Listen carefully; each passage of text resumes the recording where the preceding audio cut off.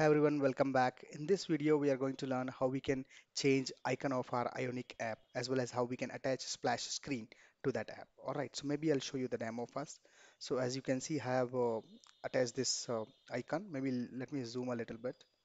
As you can see, it's coming properly. And if I click on this icon, it's showing the splash screen as well. All right, so how I created that, that I'll show you. Let me minimize this.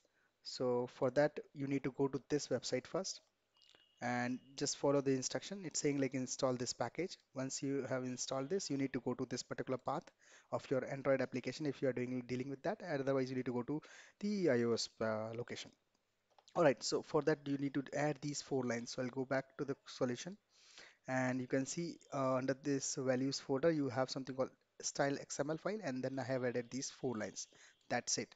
And what you need to do you need to create your image i mean icon image as well as the splash screen image. So i use this website to uh, create the icon. You can use any other website as well. And using this I just resized my resized my splash screen so that it can generate automatically all the folders. Okay. So still it's not proper. This just uh, image which I have created it just uh, you can see like let me this is the package I got it from that website. And these are the automatically it created you know so many images for me. So maybe I'll just show you randomly uh, this one. So this is my icon and if I click on this one this is the splash screen.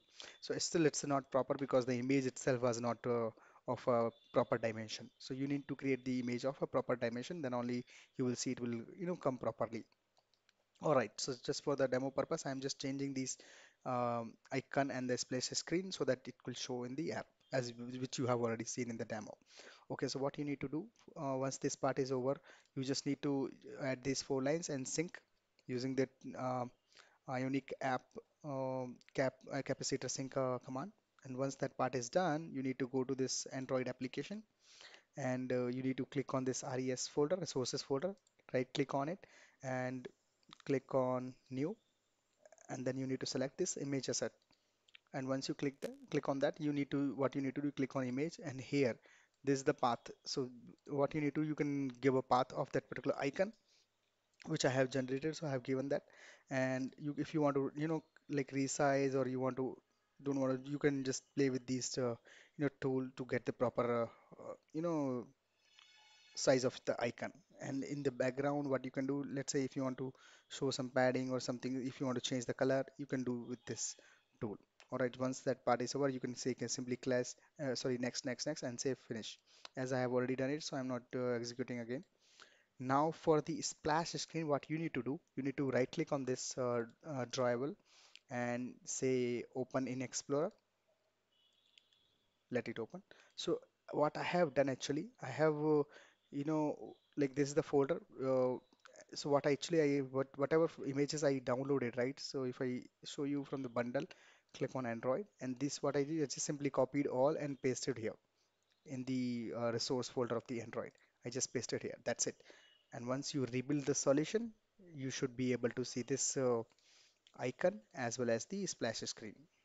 Other than that, you need not to do any other configuration until unless you need some specific configuration, like you want this person to stay for more than whatever is the time, something like those kind of settings. If you want to change, then you have to obviously follow this instruction here, which is also available in the same documentation. If you scroll little down, uh, you can follow this uh, you know uh, steps to do that. And I think below it also showing you I'll show you maybe. Yeah so maybe you can just temper the setting using this uh, capacitor config JSON. Okay so if you scroll a little more more you will see some two links. So these are the two links. Maybe I'll click one of them. And it also talking about the same which I have shown you how you will create the splash screen how you'll manually change the splash screen and stuff like that.